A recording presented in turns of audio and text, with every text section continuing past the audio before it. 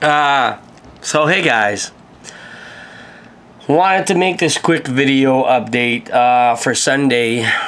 Just got a cool commercial I saw of a local store we have there. It's kind of like EB Games. It's called Microplay. I don't think they're in Ontario or anything, but it's in Canada for sure. Down here in Quebec, we have them everywhere. So, as they said, it's a cool, it's a cool thing. I wanted to point out. I wanted to share. It's it's just awesome. I just saw the price range again for Disney Infinity figurines 2.0. The price went up. Uh, Canadian price. This is Canadian price, so don't base it on USA. So for back then, uh, figurine, just a regular figurine was 12 bucks. Now it's 14.99 for a regular character, so it's almost the price of a Trap Master. Anyways, for now, I'm sticking with Trap Team 150%, and I am buying it on my PS4, no questions asked.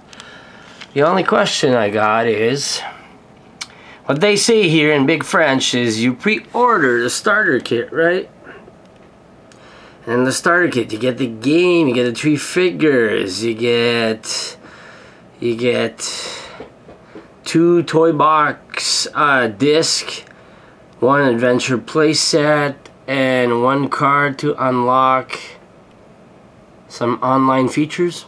Anyways, what I want to show you is if you pre-order now, you get a free figurine. It's kind of awesome. The figurines are $14.99 each. I could put this in English, right?